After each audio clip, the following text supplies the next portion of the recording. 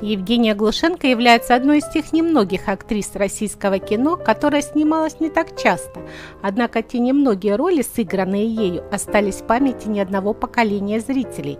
И хотя в ее фильмографии на сегодняшний день числится 27 ролей, народную артистку Евгению Глушенко помнят прежде всего по сыгранным ею ролям трогательных, ранимых и немного наивных женщин, фильмах «Неоконченная пьеса для механического пианино», «Влюблен по собственному желанию» и «Впервые замужем», в которых наиболее ярко проявился драматический талант актрисы.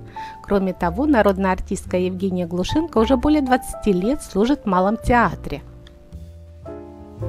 До недавнего времени, и скажу я вам не без причин, Евгения Константиновна отказывалась публично говорить о своих взаимоотношениях с супругом и комментировать возникающие скандалы, связанные с изменами знаменитого мужа. Следует заметить, что на первый взгляд личная жизнь актрисы сложилась более-менее удачно. Со своим мужем Александром Калягиным Глушенко познакомилась на съемках фильма «Незаконченная пьеса для механического пианино», на тот период времени Калякин уже был около пяти лет давцом и старался найти не только супругу, но и хорошую маму для своей маленькой дочери. Со временем Евгения стала прекрасной мамой для его дочери, а потом у актера родился сын Денис. Пара прожила вместе более 40 лет, и вроде бы все было хорошо в их семейной жизни. Глушенко занималась семейным очагом, а Калягин много работал. Однако время от времени в начале 2000-х в прессе стали активно муссироваться слухи о романах Калягина с молодыми актрисами.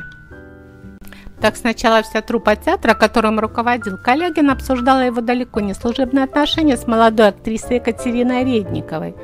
А через несколько лет некая Оксана Горбачева обвинила народного артиста в домогательствах – Затем в 2006 году в интернете всплыла скандальная аудиозапись интимного разговора Калягина с 21-летней студенткой из Омска по имени Екатерина. Евгения Глушенко очень долго терпела измены от своего мужа Александра Калягина, а тот, несмотря на свой солидный возраст, как выяснилось, регулярно крутил интрижки с юными девушками.